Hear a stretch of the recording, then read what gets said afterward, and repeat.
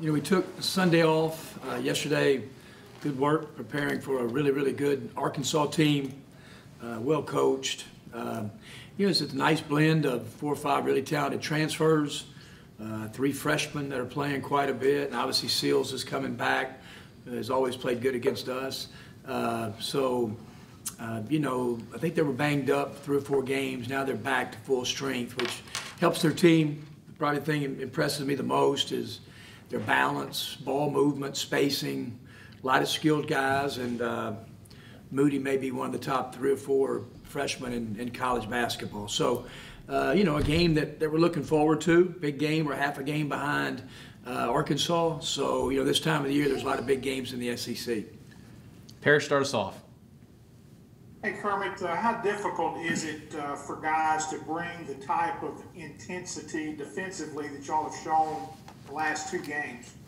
Well, you know, Parrish, I, I hope that's who we are. And, uh, you we're not a, a, team that is going out there and putting up huge numbers offensively. And that's kind of, you know, who we are right now. We're, we're working at it every day, trying to tinker with offense, trying to get cheap baskets in transition. So we've got to hang our hat on that. And we got to do it against a really good offensive team. And, you know, the first thing is that I think our guys are starting to believe in our defense and that sometimes we're going to have to win games maybe with low scores uh, right now. And uh, it's not us not trying to score, it's just kind of who we are at this point.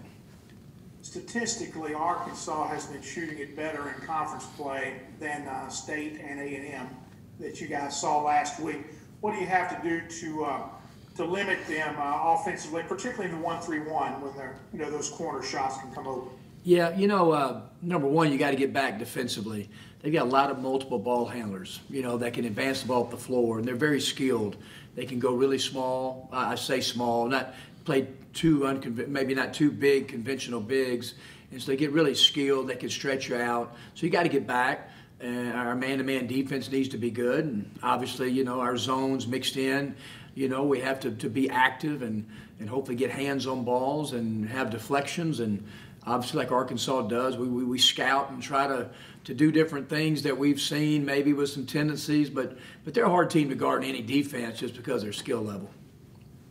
Go to Neil.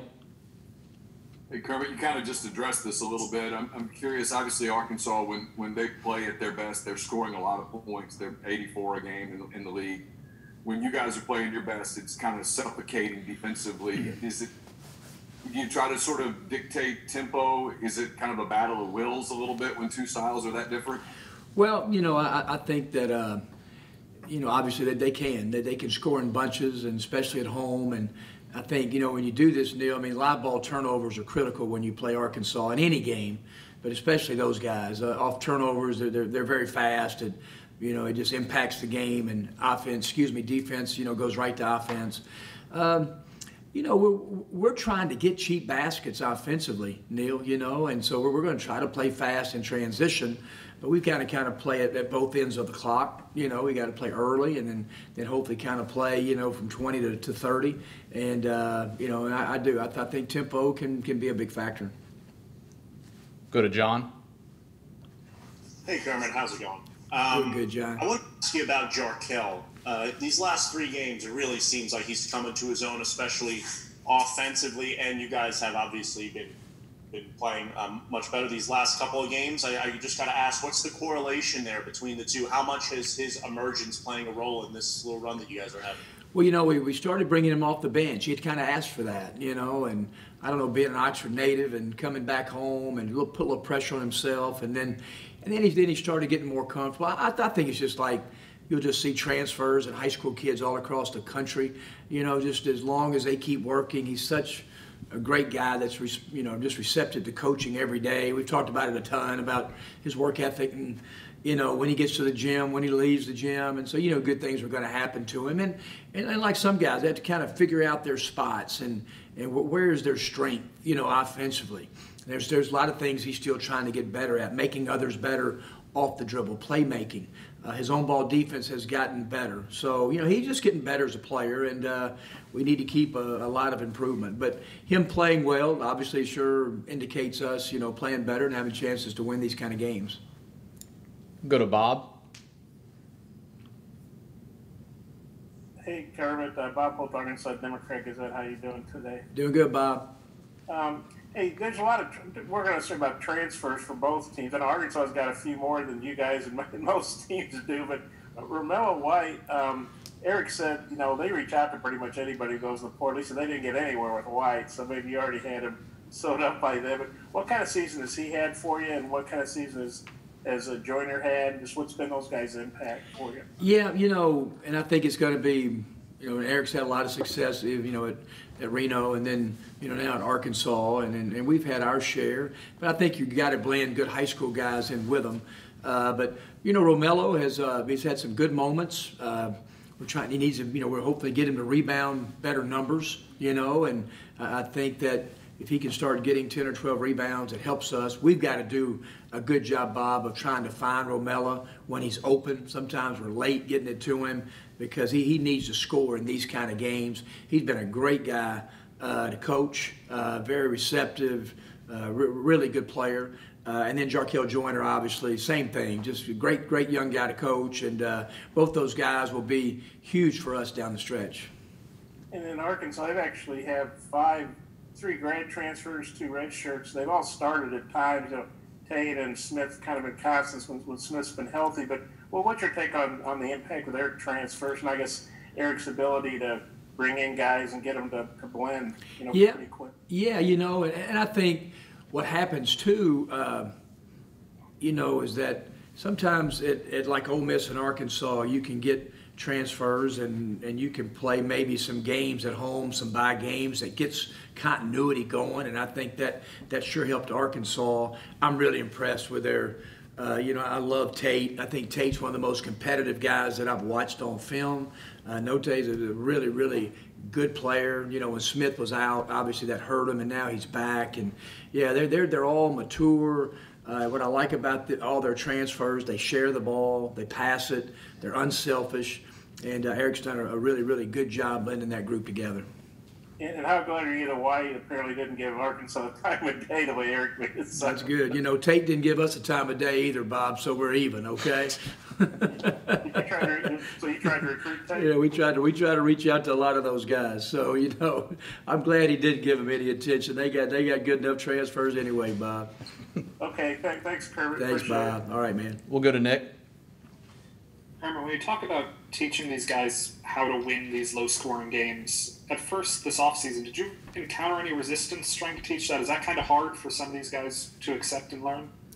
You know, I, I don't I don't think accept. I think sometimes learn. You know, just obviously, you know, different things just with, with, with schemes, and I think it just takes a while to to get guys used to playing together. You know, and uh, but for the most part, they've been very receptive. And uh, you know, I think our ball movement is starting to get a little bit better. We've tinkered with that, you know, a little bit, and so. Uh, so you know we're not there yet, but we, we've we've got to play more inside out, and we've got to get more guys touches around the goal to make us better down the stretch. You've talked a lot these last couple of years about wanting to improve as a rim protecting team. It seemed like that kind of took a step forward against A&M. What did you see there? Yeah, you know Romello White was, was good around the rim. He had three, and it seemed like more, uh, and that's that's so critical in today's game, just because of you know just there's so much dribble penetration in college basketball. The floor is spread so much better uh, than it used to be. So guys are going to get by you at times. So rim protection is, is critical, and uh, and so Romello gave that against uh, Texas A&M, and obviously you're going to need that verticality plays and and rim protection for sure uh, tomorrow night. Go back to Bob. I I gotta get nim- more nimble at unmuting. Um, hey, Kirby, you, you guys, Arkansas and Ole Miss both went 2 0 last week. I think it's the first time both teams have won back to back SEC games. Just uh, how, obviously, somebody's got to lose tomorrow, but um, just how, how hot do you think you guys are and maybe Arkansas and how you know, good a matchup this is right now? Yeah, you know, I thought, you know, Arkansas's comeback against Auburn was a really good win for them. I mean, you know, Auburn is a much different team with Cooper, and the way they played in the second half was critical. They played very good against Vanderbilt. Obviously, you know, Bob, we're, we're a team that, you know, we're up nine at Florida with six and a half to go, get beat. Uh, you know, it's a one possession game against Georgia. We're up seven against Wichita State at home, getting beats. We haven't closed out some close games, so it's critical for us, especially you know to start it off at our arch rival Mississippi State, which is you know is a huge game for us in our state. Uh, so I think both teams are, are playing well. We can sure make a ton more improvement. Bob, I, I bet you Eric can say the same thing, but I'm impressed with Arkansas, and it's just the nature of our league. I mean, it's just like I said, you know, I think there's there's two teams that are that are playing well tomorrow night in a big game, and you know, so uh, critical game for us and great opportunities for both teams. And did, did you try to recruit any of these other Arkansas transfers, or was, was Tate the only one? Uh, I can't remember. I know uh, my assistants may have. You know, sometimes when it, there's not a lot of interest, it doesn't get to me. But I'd sure seen Tate play. You know, and, uh, and knew just how good a player that that he was. So, you know, there's going to be a lot of battles in recruiting over transfers in years to come in our leagues. I think that one-time transfer is gonna is for sure going to pass. And uh, but like I said, you know, in the SEC, you know, you're going to have to have really good freshmen. You've got to have good young players to blend in with those guys. But but getting those timely transfers, they can come in and help immediately. It's sure going to help everybody, whether you're Kentucky, Arkansas, or Ole Miss. Thanks. We'll go to Ben. Thanks, Bob. Kermit, you talked about playing more inside out. Um, how much does Dream play into that? And how is he physically after all the stuff he dealt with? And kind of where is he at? Yeah, I met with Dream yesterday after practice. He's doing much better, you know. And he had a, he just had. I said, Dream, I said uh, the NCAA allowed everybody to redshirt in COVID for a reason. For guys that have had years like yours, you know, they've just kind of had some bad luck and have been in and out. And I said, so just just play, just play and enjoy your year. Take advantage of every single day, and that's all you can do, you know. And so I thought he, he was good yesterday. You know, we make it even play he and Romello both together at the same time. That was something we were going to look at kind of before, you know, Khadim's, uh, you know, kind of his illnesses. And so, uh, but he's been fine. He's, he's a really good defensive player. He can stretch the floor. And, and like I've said, Ben, we, we, we just need him to play well down the stretch for our team to, to kind of, you know, reach as, as good as we can be.